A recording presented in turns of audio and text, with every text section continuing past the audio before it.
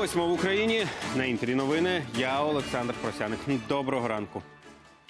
Сьогодні День Соборності України. Рівно 100 років тому, 22 січня 1919-го, було проголошено акт злуки, тобто воз'єднання Української та Західноукраїнської народних республік.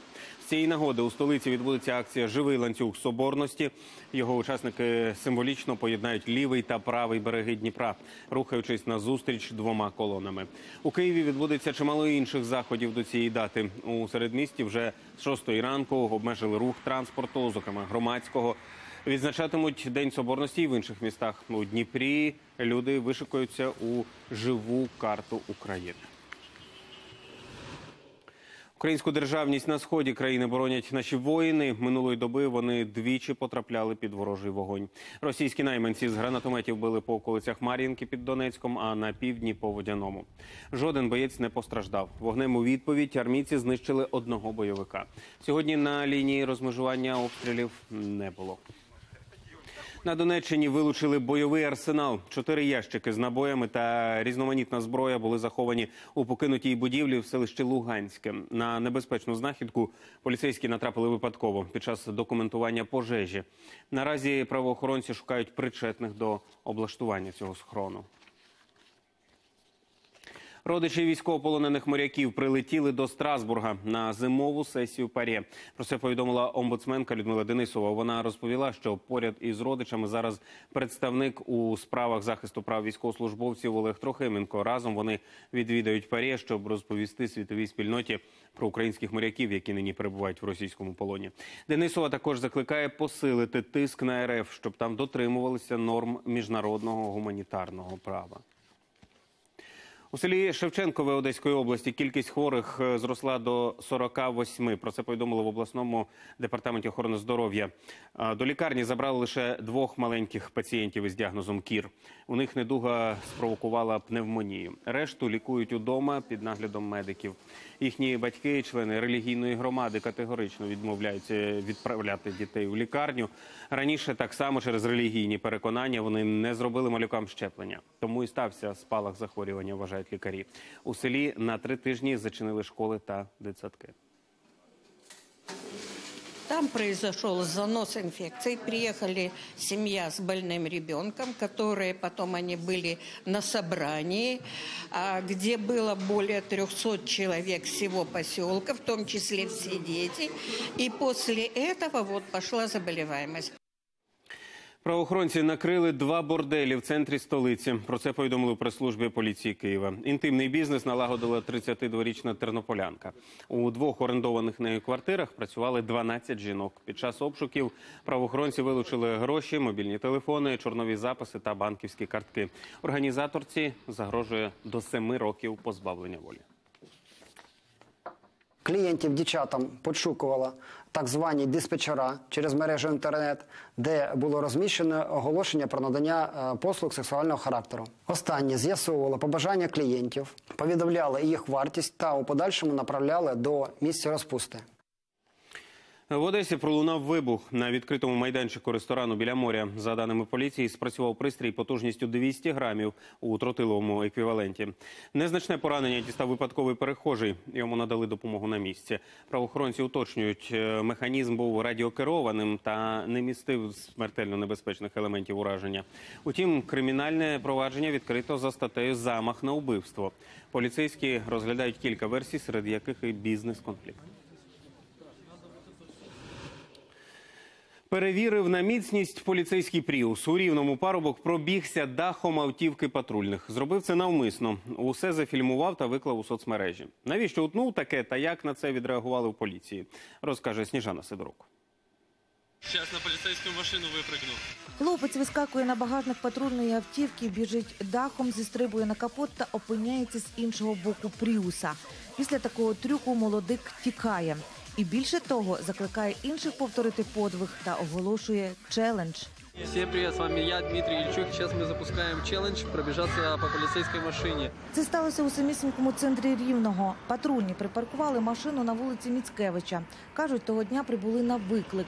Підозрюють, що телефонував їм той самий екстремал, бо дзвінок виявився хибним. Надійшло повідомлення, що невідомі особи перебувають на е, даху кінотеатру е, Україна і е, вчиняють можливо протиправні дії або можливо можуть чинити суїцид. Відповідно, відразу екіпажем з в стані крайньої необхідності було залишено транспортний засіб. Патрульні зізнаються про те, що по службовому автомобілю бігали, дізналися з інтернету і показують наслідки зухвалої витівки. У пріусі прогнувся дах. Як ви бачите, вигін є присутні. Це хуліганство уже заявили в поліції і відкрили кримінальне провадження. Запевняють, каратимуть жорстко. У його діях чітко ми вбачаємо заклик е, до порушення публічного порядку, безпеки, Е, тому е, неприпустимі такі дії. Він понесе відповідальність відповідно до статті 296 Кримінального кодексу України. В неї передбачена відповідальність штраф у розмірі близько 17 тисяч гривень або обмеження волі на строк до 5 років. А ось і сам герой відеоролику. Хлопцеві 20 років. Він із райцентру Гоща, що на Рівненщині, ніде не працює і не навчається. Називає себе блогером. Зізнається, треш із патрульною машиною скопіював. У своєму вчинку не розкаюється. Щоправда, запевняє, повторювати трюк не буде і нікому після спілкування з копами теж не радить. Просто хотілося на зібрати багато просмотрів і хайпануть на, на Ютубі. Це поганий дуже вчинок був. Так, да, я це усвідомлюю. І тоді ще усвідомлював це. Це не перше епатажне відео хлопця. Торік з друзями Дмитро зумисне стрибнув на залізничну колію перед електричкою. Схоже, після нинішнього челенджу його покарають і за попередні подвиги. Сніжана Сидорук, Микола Василюк, телеканал Інтер, Рівне. На Кіровоградщині через снігопади і перемети на дорогах рятувальникам довелося звільняти зі снігового полону три десятки автівок. В області насипало до 10 сантиметрів снігу. Проїзд ускладнений в п'яти районах. Там із засніжених шляхів е, співробітники ДСНС уже витягли три десятки машин. Тимчасово скасовані автобусні рейси. На північному сході США негода цими днями забрала життя шістьох людей у передмісті Чикаго. Через фатальну випадковість загинула 20 12-річна дівчина. На неї обвалилася снігова фортеця, побудована самою ж дитиною. Упродовж вихідних у кількох штатах регіону вирували сильні снігопади. За ними прийшли вітри та заморозки. Від Нью-Йорка до Бостона температура протягом вихідних впала до мінус 20 градусів за Цельсієм. Та вже найближчим часом синоптики прогнозують потепління. Гірські райони е, на півдні Польщі завалило снігом у селищі Лялики. Будинки засипало по перший поверх. Місцеві мешканці мусять прокопувати собі стежки. Люди кажуть, на морозі сніг став твердим і нагадує заморожений бетон. Десять доріг, які ведуть до селища, непрохідні. Влада застосувала важку техніку. Поки що у нас майже 10 доріг заблоковані. Вони або частково, або повністю непрохідні. Ми постійно намагаємося розчистити ці автошляхи.